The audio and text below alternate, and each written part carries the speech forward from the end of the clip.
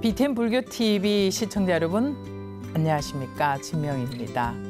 올해 한가위 명절은 각자의 자리에서 보내야 될 것 같습니다. 어느 생태학자는 이렇게 말합니다. 우리 모두가 편리하고 빠르게 살아온 결과로 코로나 현상을 만들어 내었다고요. 그래서 이렇게 주문합니다.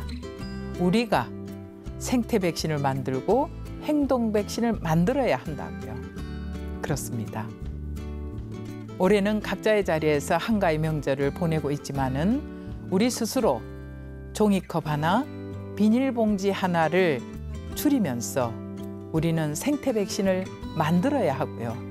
그리고 생활 속 거리두기와 사회적 거리두기를 실천하면서 우리 스스로 행동 백신을 만들어 가야 된다. 이렇게 주문합니다. 어떻습니까? 저는 그 말에 100% 공감했습니다.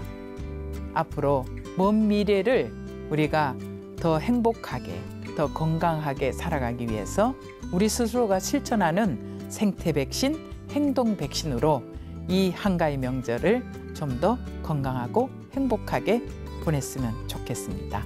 부디 몸은 떨어져 있지만은 마음만은 하나가 되어 행복한 한가위 명절 보내시기 바랍니다.